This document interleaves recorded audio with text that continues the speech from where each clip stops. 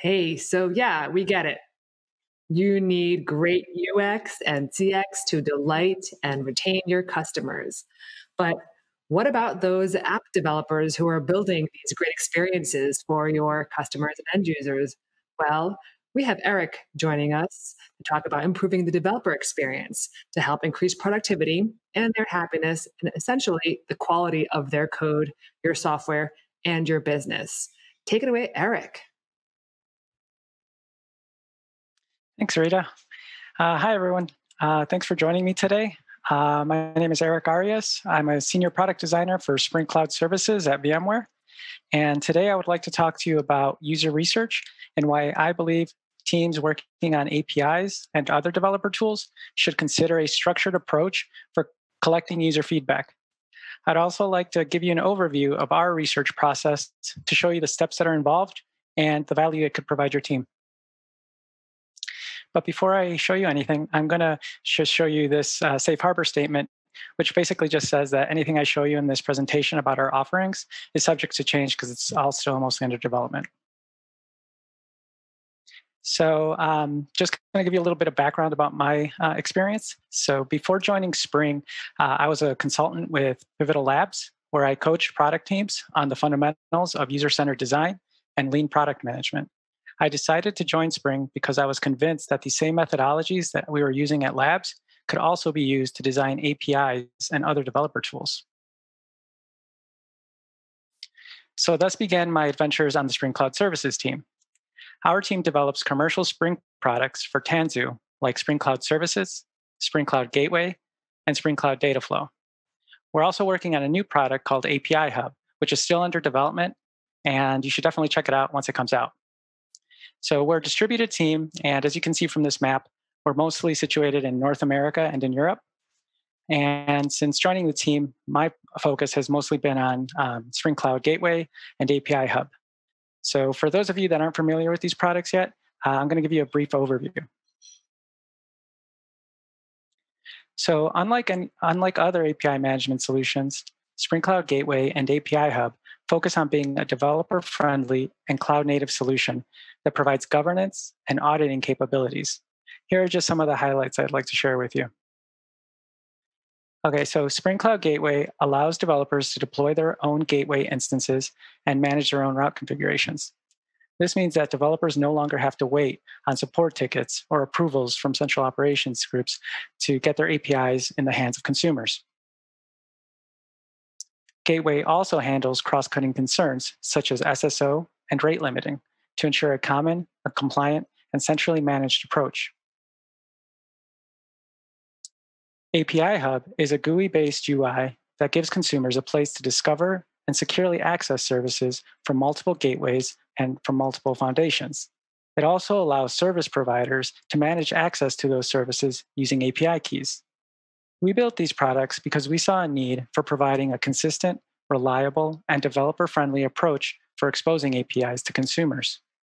This is mostly due to the increased adoption of microservice by, by organizations. Consumers have come to expect APIs that are easy to use and that provide a better overall developer experience, which is also known as DX. To give you an idea of how important DX is, I'd like to show you some data from a survey conducted by SmartBear called the State of API. The survey team found that developers want tools that are easy to use, easy to implement, and that fit into their existing toolset when they're evaluating APIs. This is because the increased complexity of the API tooling ecosystem has led to a greater focus on usability and experience. They also found that organizations consider performance the number one indicator for measuring the success of their APIs. The number two indicator, however, is usability and DX. This is because developers have a lot of options when they're choosing different API products, and they usually tend to pick the ones with the best DX. Internal developers, on the other hand, they might not have the same options, but good internal DX practices will likely increase your organizational organization's productivity and likely reduce your technical debt over time. So what does this data tell us about how we should approach API development? Well, Greg Brail, a principal engineer at Google, says that we should therefore prioritize developer engagement. Just like any other product, APIs require teams to manage them, feedback cycles with customers, and iteration to constantly evolve your product. I completely agree with this statement because we should be collecting user feedback often so that we're in a better place to meet the ever evolving needs of our developers. But how do you know you're getting the right type of feedback? It isn't enough just to ask your users what type of features they want, because what they say they want and what they actually need could be completely different. This is why our team takes a user centered approach for gathering, interpreting, and acting on insights from real users. So I'm going to show you what our process looks like on the Spring Cloud Services team, and I'm going to be using some examples from one of our products called API Hub to illustrate. As I mentioned earlier, API Hub is a GUI-based UI that helps developers discover and manage APIs aggregated from multiple gateways. So just to look at our process, uh, it breaks down into four different stages. The first stage is used for generative research and the second half is for evaluative research. In the empathize stage, we engage with users by conducting interviews and observations. Next, we make sense of our research by identifying patterns which reveal user insights and problems. Then in the ideate stage, we generate ideas for solving these problems that we found. And finally, we build a prototype to evaluate the effectiveness and the usability of our solution. I'd also like to add that this process doesn't necessarily have to be uh, done from beginning to end. If your problem is clearly defined, then you could probably just start with the ideation phase. And the opposite is true too. If you just have a few open questions that you need answered, conducting a few interviews might be enough. The point is that the methods that you use should reflect the type of research that you need. But before we get started with talking to users, we should define our goals. These are going to help our team decide where to focus our time and effort. Goals should be broadly defined, measurable, and user focused. Try to avoid mentioning any specific solutions or feature sets. Instead, think about the outcomes that you want for your user. For example, our two goals that we started with were to give consumers a way to discover and access APIs and for service providers, it was a way to manage that access using, well, just managing that access to those services. As you can see, our goals don't mention any specific solutions and can easily be measured by whether or not we delivered on the outcome. So once we have our goals set, we're ready to get started with the empathize stage. But first, we need to figure out who we need to talk to. And to do this, we identify user personas. These help us generalize segments of our user base that share similar characteristics. You can think of things like goals, behaviors, needs, and pain points. This helps us understand our users' motivations and the challenges that they're facing. And if you start by doing these, it's okay if you don't have them perfect to begin with. The more you collect feedback, then you can start updating them so that they're based on actual evidence and not just your assumptions. These were the four personas that we started with for API Hub. API consumers, they want to discover and access services needed to deliver new features for their own applications. API producers want to expose those services to consumers without going through too many hoops. API managers, well, as their name might suggest, are responsible for managing APIs. They're interested in things like usage, performance, and monetization. This role varies from company to company, but usually this person's like a product manager or a lead developer, anyone that's in charge of an API or set of APIs. And finally, we have our operators, which are responsible for installing and configuring API Hub on the platform. The next thing we have to do is unpack what the team already understands about the goal using an activity called an assumption generation. Now, assumptions are anything that we believe to be true, but aren't actually based on any facts or evidence. We capture these now so that we can determine which questions that we need to ask during our research.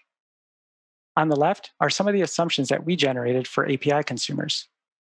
We assumed that consumers have trouble securely accessing APIs, want to view documentation, and want to test endpoints before investing in full integration. After we generate these, we prioritize them on something called a two by two. That's the uh, cross you see on the right. So on this two by two, um, we have the vertical line that represents the amount of risk to our project if the assumption ends up being wrong. And the horizontal line represents how much we know or don't know about the assumption. The red box indicates which assumptions we believe are most important to validate with our users. Typically, they're the ones at the top right, which are riskier and more unknown. Next, we prepare for our interviews. And you can think of these in three parts. Here are some of the activities you should consider for each. So, first, you start by recruiting some interviewees.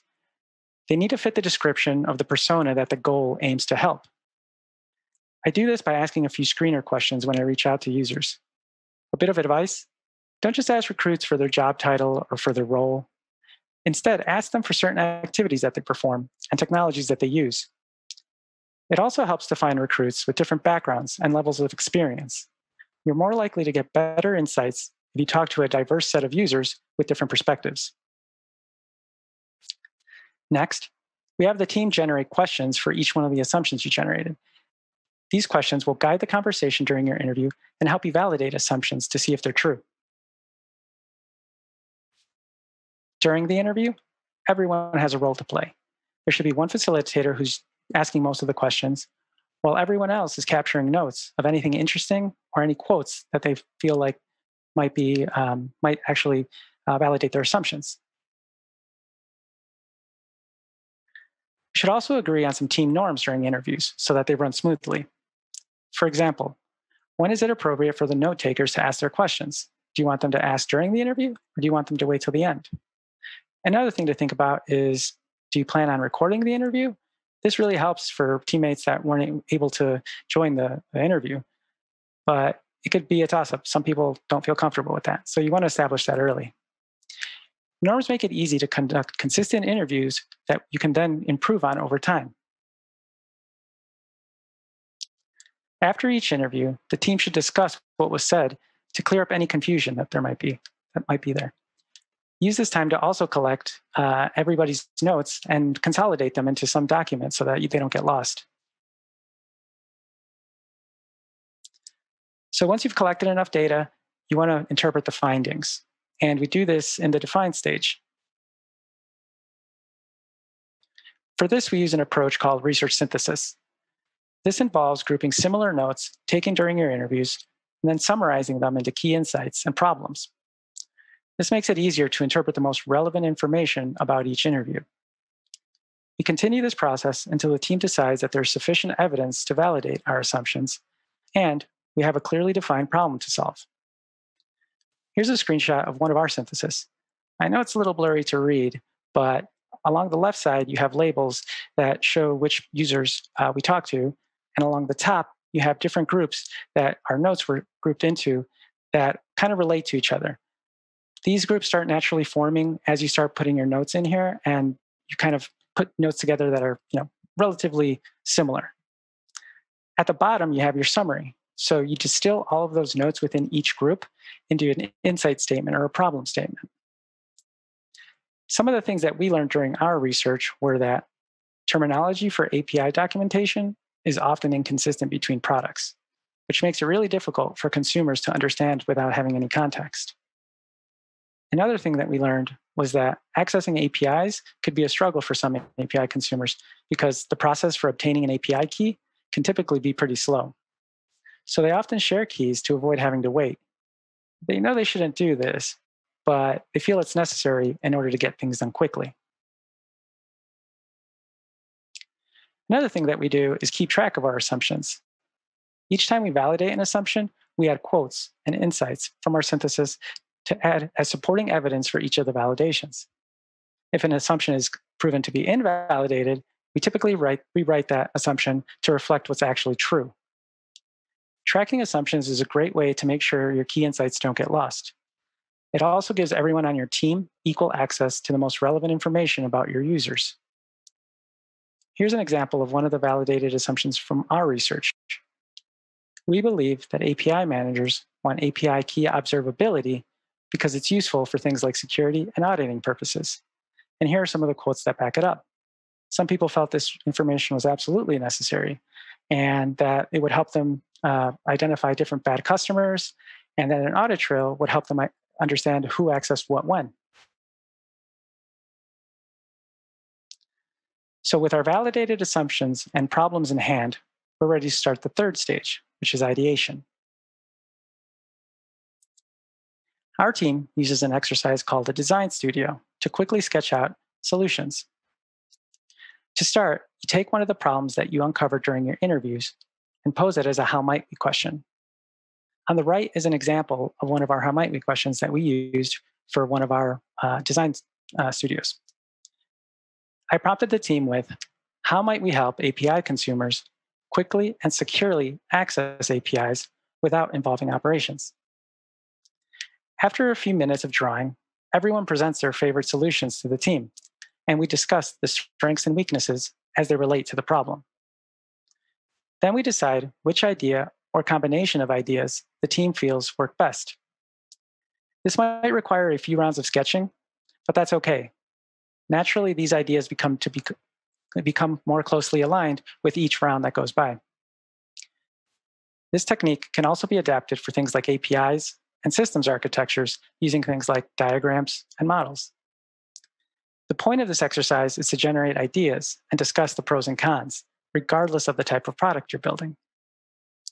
On the left is a photo of a sketch that one of our engineers drew. This was for an early concept where we wanted to show a list of endpoints.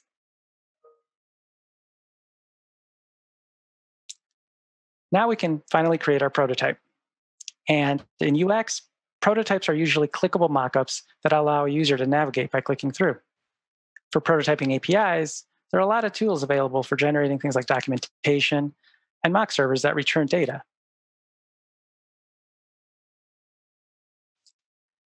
To evaluate our prototype, we conduct usability tests. And just like our interviews, you can think of them in three parts. You start by preparing a scenario for your test participants.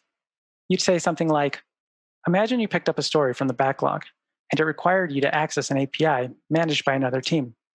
Show me how you do that using this prototype. This scenario will help you, will set the scene for your test participant and also act as a blueprint when you go and go to build your prototype. Next, you identify the tasks that the user needs to perform in order to successfully complete a scenario. An example of this might be that the user clicks on a button or enters a specific command. And now it's time to actually build your prototype. So pick a prototyping solution that provides an interaction or response that you're trying to test. And don't obsess, don't obsess over making it look perfect. Just let the participant know that it's just a prototype and that not everything's going to work as, as if it were real. During the test, track the task to measure the usability of your solution. If enough people successfully complete a task that you identified, then you know that the solution for completing that task works. You should aim to test with at least five participants so that you collect enough data to notice any patterns in their behavior. If the majority of your users are able to complete each task, then the prototype is considered validated. And then finally, after the test, Confirm the results with your team so that everyone agrees on what they saw. Take down any changes that need to be made and test again if they're significant. If there aren't any changes that are needed, break the solution down into stories and add them to your backlog. So, what outcomes did we achieve by the, with the following process? Did we meet the goals that we originally set out?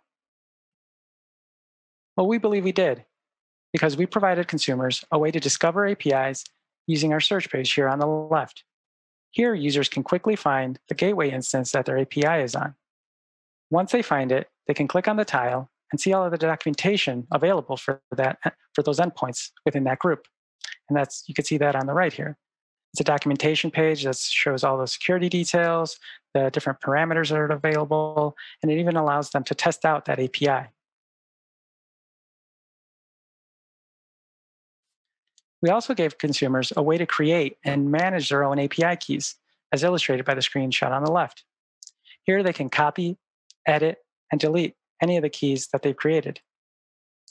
For API managers, our goal was to provide a way for them to manage access to their services.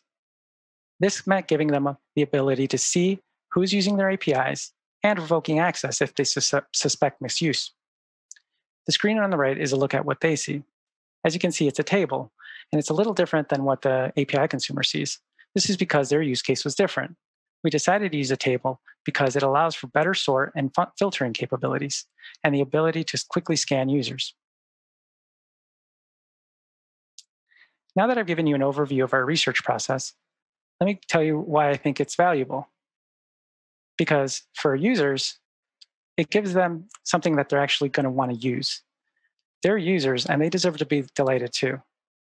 Second, it gives them the opportunity to share their perspective, making them feel more invested in your product. And lastly, it provides users a look at new features that are being developed, which could incentivize them to participate in a research session. For the teams developing the products, it builds empathy and understanding towards their users. It also provides a structured way of collecting feedback that's consistent and highly transparent. And finally, it validates that the products that they're building are actually going to deliver real value to real customers, which gives you that warm feeling inside. As for the business, well, user research provides key insights that will help you improve your business's overall developer experience. Improving your DX will lead to happier developers that will not only ad- adopt your products, but actively promote them. As one DX writer writes, happy developers are chatty developers. And when we recommend products to each other, the ones with the best DX are at the top of the list. Here are some of my tips for getting started. First, choose a problem space that's relatively small or discrete. This will provide you the flexibility and freedom to experiment without feeling the pressure of getting it right the first time. Second, make a habit of it. Anytime there's an opportunity to do research, you should take it. It only gets easier with time and practice. And finally, I realize that no matter how approachable I try to make this process, it still comes down to finding the time. If this is the case for your team, well, then ask if your team could benefit from having a dedicated researcher. It's worked for our team and could possibly help you too. I hope this has been helpful.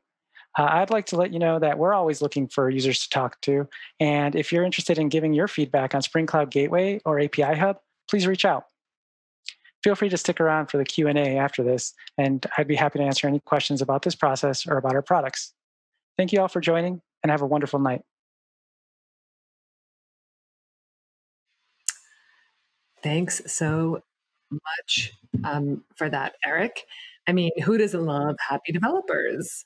Uh, and one thing that I'm noticing a theme for SpringOne this year and actually previous years is that you know being in service of the developers is good for your business. So take care of those folks who are actually building out your digital business models and stuff. So anyway, stick around. We got one more session, and it's going to be pretty epic. I'm pretty. I'm excited about it.